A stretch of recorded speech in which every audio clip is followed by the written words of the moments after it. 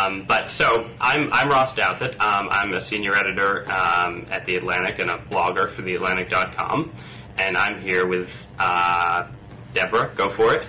Hi, Debra Dickerson. I am. Uh, I blog for Mother Jones. I've published two books: An American Story and the End of Blackness, and I am teaching journalism right now at SUNY Albany. How's that going? Both too fast and too slow. It's a completely different muscle. It's hard, but really good. There's a lot of young people out there chomping at the bit to become journalists, which is Which uh, may, may be folly, um, as, as based, I- based on how yeah. the journalism industry is going these days. Yeah, I was just telling. I I give them the straight skinny on all of that, and what I really do is try to terrorize them out of being bad journalists, about joining the herd and and doing unworthy things in unworthy ways. So. You know, I'm basically there to talk the all but the determined, hardy, talented few out of the profession. Well, that's that's good. So you're the you're the equivalent of someone who teaches organic chemistry to, to freshmen to try and you know scare scare them scare them out of the pre med track. Interesting. I'm such a maybe, maybe, I'm such a although the- liberal you know, arts the- major. I didn't even know that that was the case. Yeah, it's like that. It's like don't. It's not for the. It's Not not, for for, the weak. It's not for Right. the faint of heart. Only only the strong end up on Blogging Heads TV. So. um, so anyway, so I, I thought we would we might start off uh, talking about presidential politics um, and specifically talking about everybody's favorite topic, uh, Barack Obama.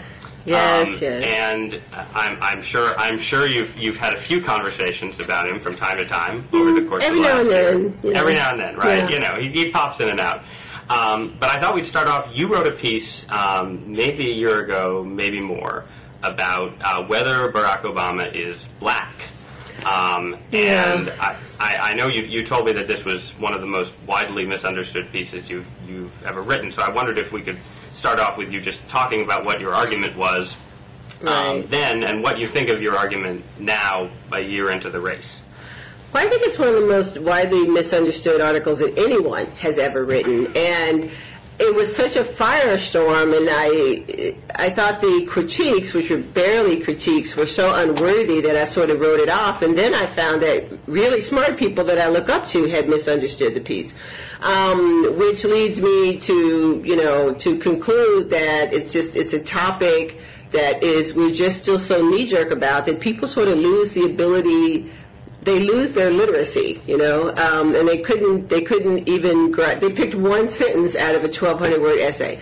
Basically, what I said um, was that Barack Obama, you know, would be the great black hope if he were actually black. I wrote this piece for Salon January a year ago. I'll never forgive it. Forget it.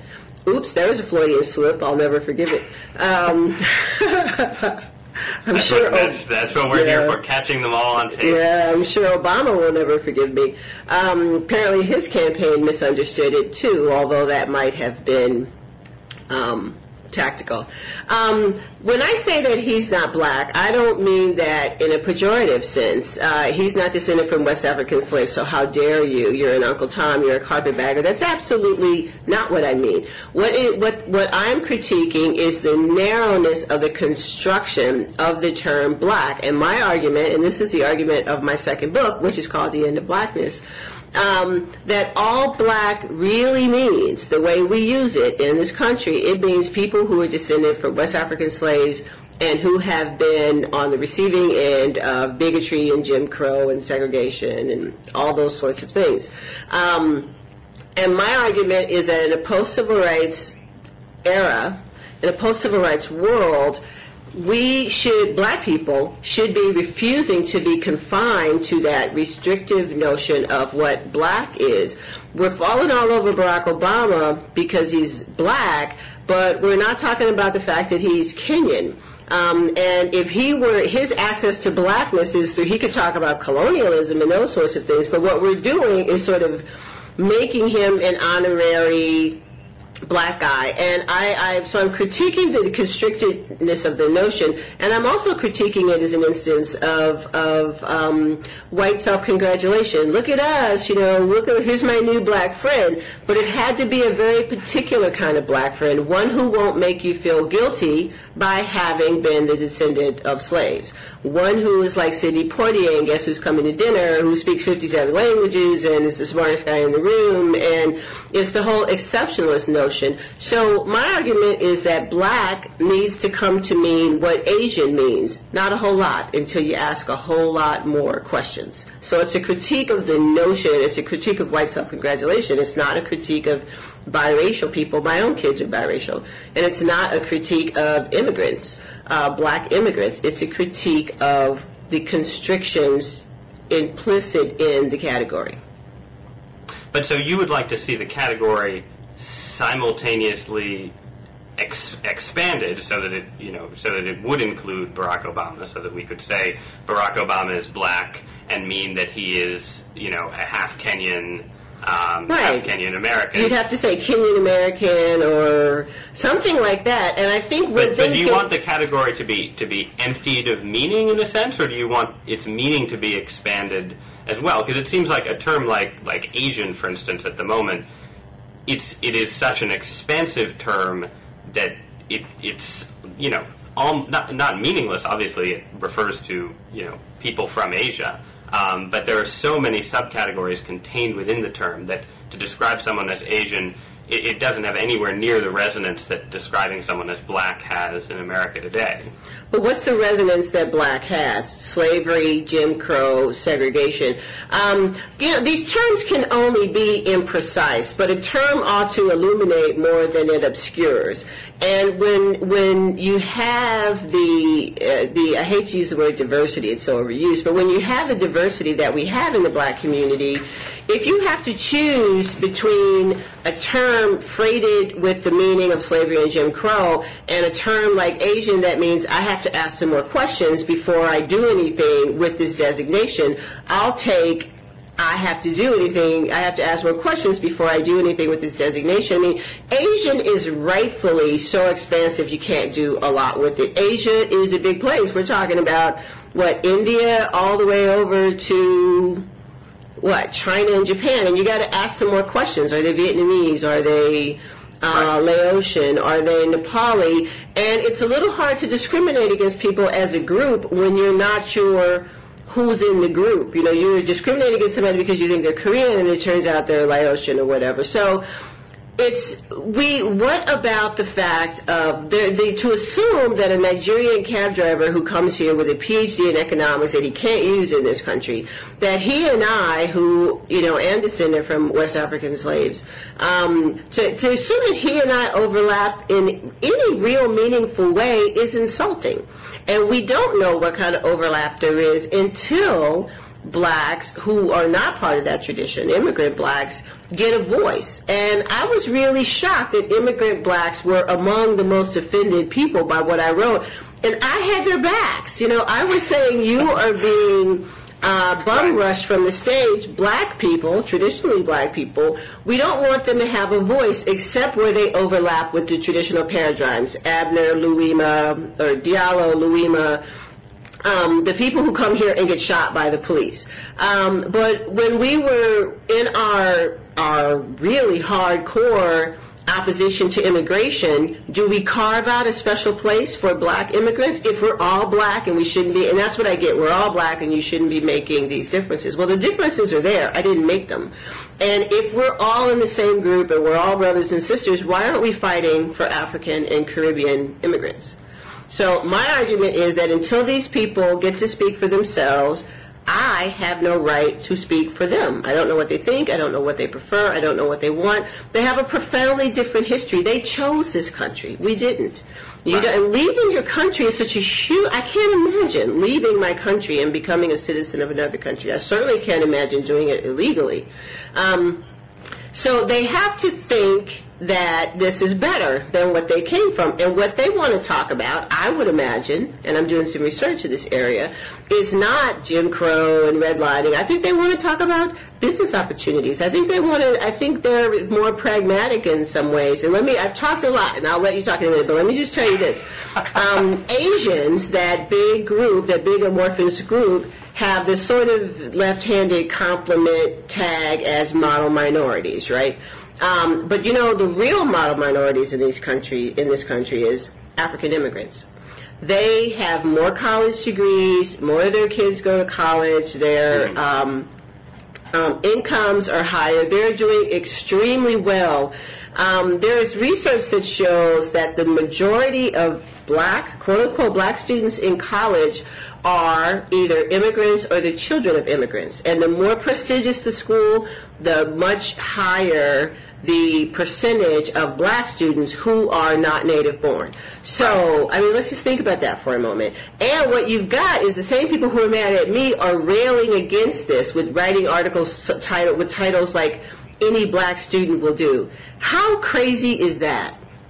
How crazy is it to have a problem to talk about the overrepresentation of non-native born black students in college. So well, isn't isn't isn't part of part of the concern, and I, am not sure about this, but isn't part of the concern there that um, with with college, America has a particular a particular approach to blacks in higher education that's informed precisely by the you know Jim Crow redlining um, era.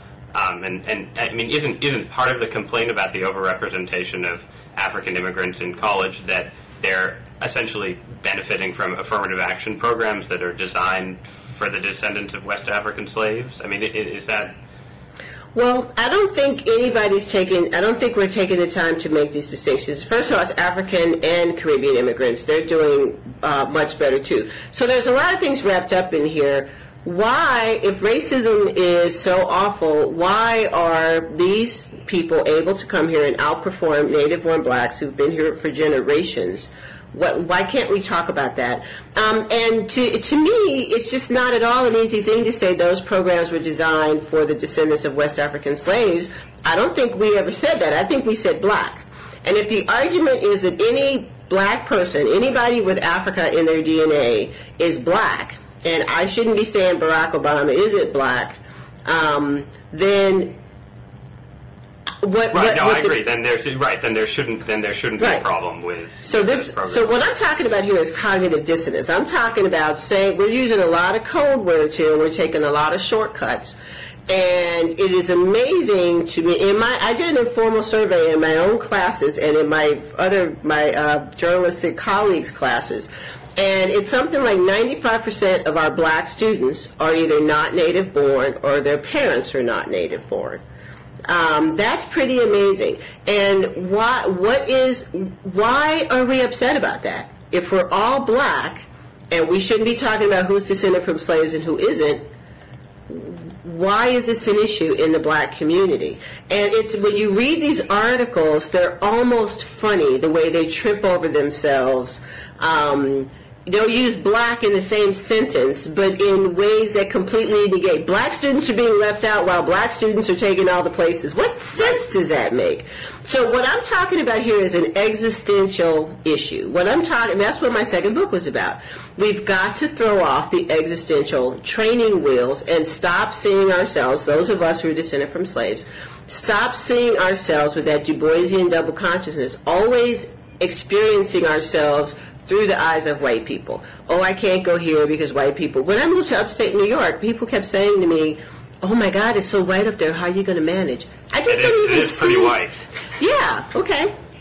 I don't see my having, life having that way. Having spent some time in upstate New York, it's, it's, it's quite white, believe me. And uh, there are times you just want to hug other black people on the street. But this this this notion of of the the problem here is seeing ourselves through the eyes of white people and assuming that white people are always out to get us, and not only that, that they will be successful. Um, and I think that that is a mindset that immigrants, black immigrants, might not come here with. For one thing, and this is huge, they don't have the experience of being minorities. Where they come from, they're in the majority. And the people, less so in the Caribbean, but still, they're surrounded by people who look like them. And it's it's really hard for us to make y'all. I'm assuming you're white. I don't like Stephen Colbert. I, I, I, yeah, no, this is the problem. You, you, you, yeah, you don't know. You, you, used to be able to tell on the phone, even you know Johnnie Cochran to the contrary, but you can't tell anymore. Um, always. Um, but they don't have the minority experience, and that's huge. And it's very, it can be sort of crushing for us. Um, and well, the problems that they had in their other countries were not about, you know, it was about colonialism or um, and that sort of thing. So, uh, and I just don't think we can overstate the significance of choosing to come to this country and then having chosen it to come here and as a group do so incredibly well, better than a great many white people. Well, let me let me ask you this because I here, or actually, let me let me throw out a couple a couple thoughts. Um, one one about Obama, um, because it seems to me that Obama is in he, he's he's in a particularly peculiar position because he is he is the son of an African immigrant who came to the U.S. temporarily and then returned to Kenya. Right. So he's not in the position of, you know, the Nigerian with the economics degree who's driving a cab. He right. isn't someone who chose this country, and he's someone who is, in a sense, abandoned in this country by yeah. his by his by his African father, and mm-hmm. know, left with his white mother. Um, and and it seems like what he's done, um, and I, I, don't know about, I, I, don't know to what extent this is applicable to the larger um, the larger African immigrant or Caribbean immigrant experience. But it seems to me that he, and he, I think you can see this in Dreams from Dreams from My Father, his me, his memoir, because there isn't, because there is this incredibly powerful narrative of blackness in the United States, um, and you know, obviously, it's a narrative that's that's thick with horror and suffering and tragedy and slavery and segregation, but it's also a narrative that's you know thick with um, uplifting heroics um, right. and you know fantastic cultural contributions and great heroes and so on. I, I, I, mean, I think you can see in his life a yearning to identify to identify himself with that with that narrative, with the narrative of um, native-born blacks, the def- descendants of West African slaves. Simultaneously, you can see in his presidential campaign a sort of a sort of step back from that and a step towards partially what, what I think you described accurately is the, the white desire to have, you know, to have the black candidate who moves us beyond race. And so a sort of attempt by Obama to, I mean, if you, if you look at how he talked about race, especially before um, the whole Jeremiah Wright firestorm right. broke and he gave his big race speech and so on. If you look at how he talked about race before that and contrast it with the way that he talked about race in his memoir and sort of, you know, his I mean, his memoir is sort of about the pursuit of a racial identity, in a sense. Oh and yeah. His his presidential campaign, at least up until the last couple months, has been about the pursuit of a post-racial identity. So there's that there's that tension, and then on the white side, I feel like in in the in the embrace of Obama, there's a tension. You know, it's it's the it's the double desire. It's the desire on the one hand to have Obama be a post-racial candidate who moves us beyond race, and we don't have to think about it anymore, and we don't have to feel guilty about it anymore. And at the same time, there's a tremendous identification with him as a black man. You know, the desire to, as as you said, have a have a black friend, but you know, he's he's the guy who's moving us beyond race. But the reason we're so into the idea of him moving us beyond race is because he's an African American. Um, right. Well, so whole I, I, that whole notion of moving beyond race always uh, I always get very curmudgeonly about it. We're not trying to move beyond race. We're trying to move beyond non-whiteness because white people don't have to transcend race, right? Even though white is a race, um, it's Asians, Hispanics, black people it's it's uh, so when we're talking about transcending race, I don't like to let stuff off the hook. We're not talking about transcending race. We're talking about transcending non-whiteness, and we're talking about what's his name um, who did the great book. Oh, Andrew Hacker. Andrew Hacker talks about um, being promoted, you know, to white, and he was saying 10 or 15 years ago that Asians were on the verge of being promoted to white. Um, so I have a problem with that whole. I think that in that in the conversation that black people are trying not to have about Right. non-native born blacks, I think America is trying to not talk about whiteness, and there's an extent to which you know, it's sort of like Obama's being forgiven for being black. And that's what I mean when I say it took it took a particular kind of black guy. You know, Raheem Washington with the exact same resume but with, you know, two slave descended parents would not be get the same oratorical skills, this whole thing, uh, dancing on Ellen and bacon jokes, um, would not be getting the same kind of love from white people. I think it was crucial that he not have the slave experience and that he had the African father who not only abandoned him but abandoned America. Um, I'll take it any way I can get it, and I think Obama is definitely moving us ahead late years. But um, this this notion of trend, yeah, I think to get back Well, to your yeah. actual question about his memoir, it was really it was painful to me um, reading the profiles and reading his books about this quest for racial identity. I I have nothing but sympathy for um, for blacks in his position who come here to this overwhelming, inescapable narrative um, that's not going to begin to break down until black people stop fetishizing it so much. Um, it's you you can't have another conversation um, that immigrants want to have. I think because it is so all consuming. It's our original sin. It's our ongoing drama.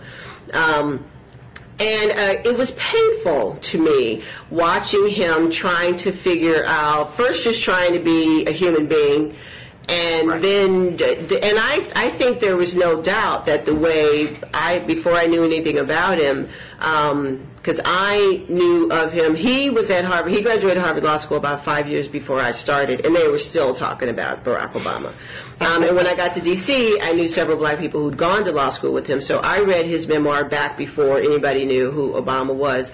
And so it was a mystery and I knew that um, and then in reading about him I knew that the way he was going to meld these disparate sides of his um, because of his I, I think he has a sense of destiny and because of his ambitions and talent um, he was going to head for the public sphere and he was going to be forced to either be black or not be black you know um, and the way to be black was through the black church. So that this is something I've been writing about for a long time. It's very difficult to be. You pretty much have to be a black Republican not to um, to give in to this embrace of this this sort of fervent holy roller black religiosity. And I think that it's not at all surprising that you know he could have gone Episcopal, which is very white glove and you know it's, it's sort of Mhm. black Catholic. But no, no, no. He wanted to be a man of the people, and to do Right. that, you got to go through somebody like Jeremiah Wright. Well, but so what? All right, so so to to to go to the you know the topic of the moment, which is Reverend Jeremiah Wright and his relationship to Obama.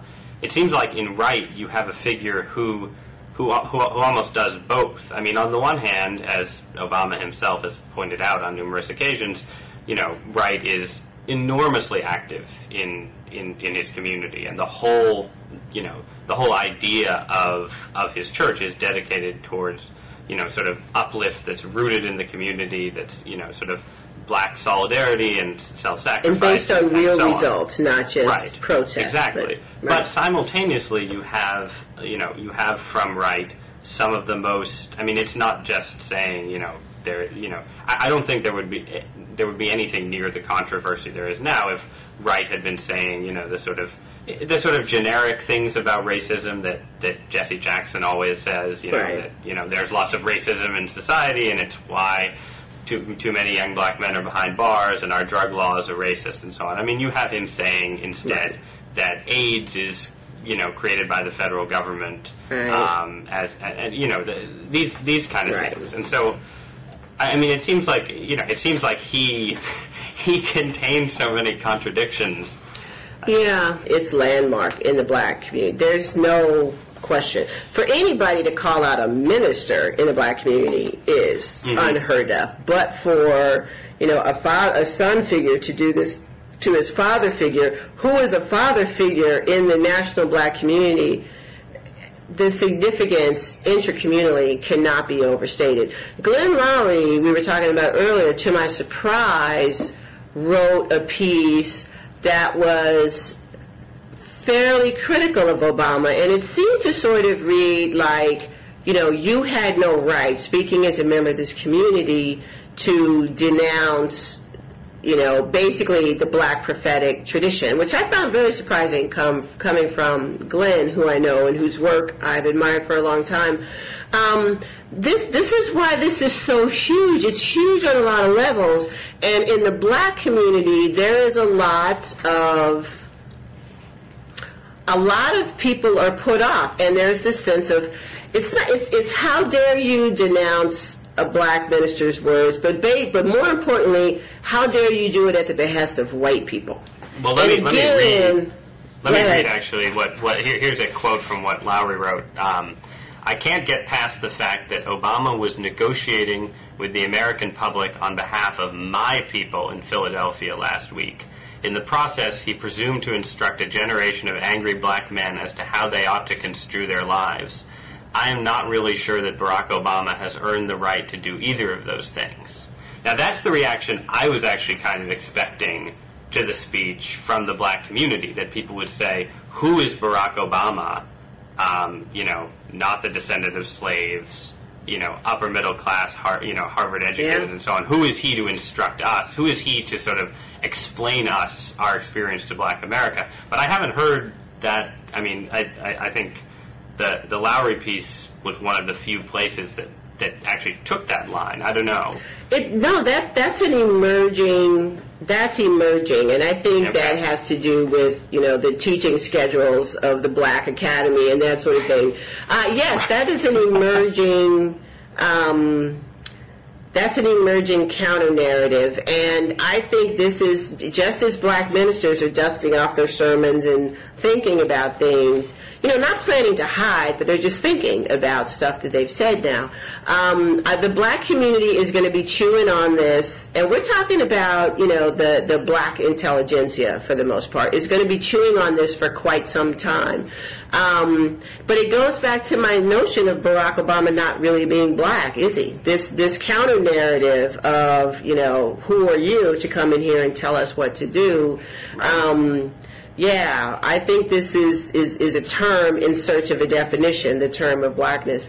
Um, I'm very surprised to see it from Glenn. What I saw early on was a lot of black writers with uh, divinity degrees uh, expounding on the black prophetic tradition of Frederick Douglass and, and Sojourner Truth. And then I read some things, some great things from white commentators like E.J. Dionne talking about the prophetic tradition and talking about some of the really, really angry uh, America bashing things that Dr. King said. Um, this, it's interesting to see where this will go in the black community. I'm still, I just read the Loury piece yesterday, and I'm very surprised to hear it coming from him. So I think that uh, this whole exist, I think we're, we, I, before I said we needed an existential crisis in the black community, maybe now we're having our existential Right. crisis in the black community with Cosby and Chris Rock and Obama and now this whole thing with Reverend Wright and it's the, I think the bunker mentality is in place throughout with with the ministers, but I think that the black intelligentsia is just starting to come out of the bunkers and really, really grapple. It's good. It's very hard for black. You pay a high price in the black community for intercommunal critiques. Believe me, I know that firsthand. So nobody's going to go off half-cocked on this Obama thing. Um, but I think Glenn, in his piece, certainly gave me a lot to think about. it go, this goes back to, you know, the white desire not, not to be. I mean, this is what part of what Glenn Loury's piece is about is that you know he doesn't he doesn't want Obama. He's worried that Obama is in some sense letting white America off the hook, and I mean, there you know there there is a sense in which white America wants to be let off the hook, and we don't want to be You know, we don't want to be told that there are people in America who, you know, who, who don't think America is as great a place as we do, and so on. So, and have the following reasons for thinking that. You know, the black incarceration rate, the schools, the redlining. I mean, on the one hand, America does a lot to make the black underclass feel like it's not a part of America.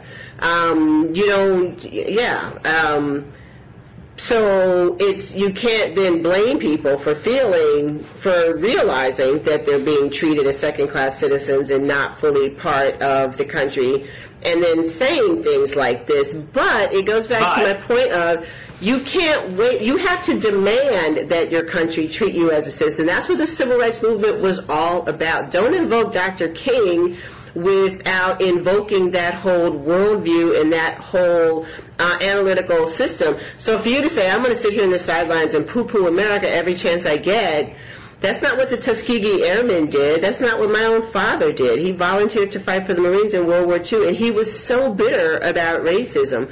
The the Tuskegee, all the, the there have been blacks that fought in every war in this country. Many of them enslaved. So you can't wait around for somebody to tap you on the shoulder and say, okay, go ahead, feel like an American.